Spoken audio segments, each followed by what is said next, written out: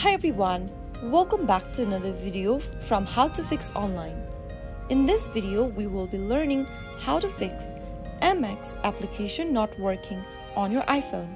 If you're experiencing issues with the American Express application on your iPhone, then there are several steps you can take to troubleshoot and resolve the problem.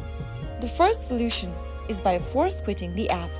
Simply go ahead and swipe up from the bottom of your screen and you will be able to bring up the American Express app card.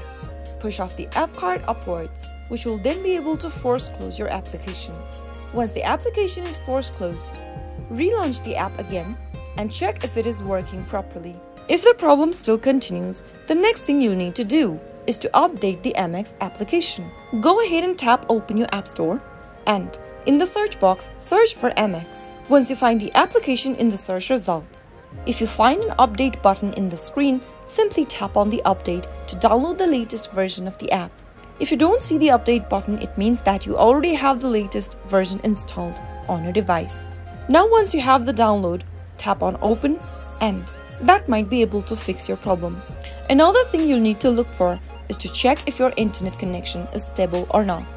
Sometimes, slow or unstable internet can cause app issues.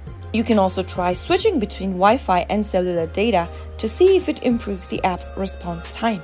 If the problem still continues even after you do all of those, the next thing you need to do is to simply reinstall the Amex app. Press and hold the Amex app icon from the app drawer and tap on remove. Tap on the delete button twice and once you do that, the application will be deleted from your database, from your system.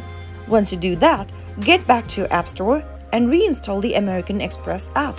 Once you delete and reinstall the app, you might be able to fix the issue.